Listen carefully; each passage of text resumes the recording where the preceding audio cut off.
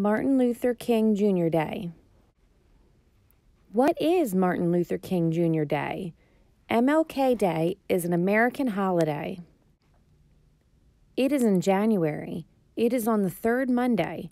What do we celebrate? Dr. King led the civil rights movements. He wanted everyone to have the same rights. We honor him. How? We help people. Dell and Eva paint a school. Tom builds a house. Wow, he works hard.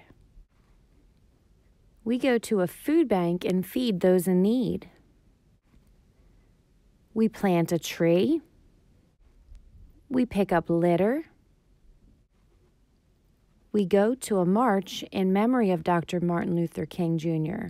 Look, Joe has a sign.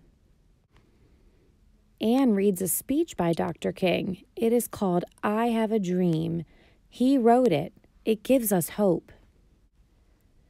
We will always remember Dr. Martin Luther King Jr.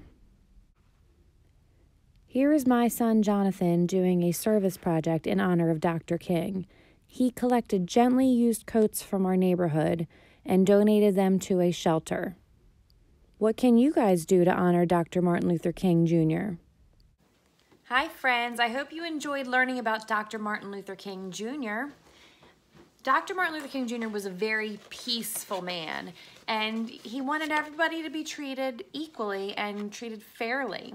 So in honor of him, I thought we would make a really cool peace sign craft. Now, I chose to do mine on green construction paper, and what we're gonna, what you're gonna need is some paint. I'm going to use blue and white paint.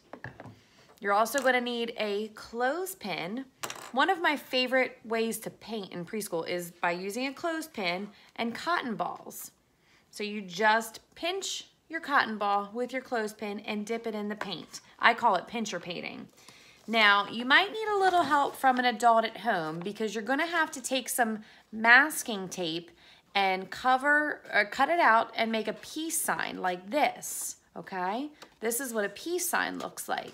And like I said, this is when you might wanna ask an adult for help. So when you get your shape ready and you have your peace sign taped out, you're just gonna get your clothespin and your paint and you're going to paint on your peace sign. And when it's all finished, you'll very carefully peel the paint off and you'll have something that looks like this. I hope you guys have fun.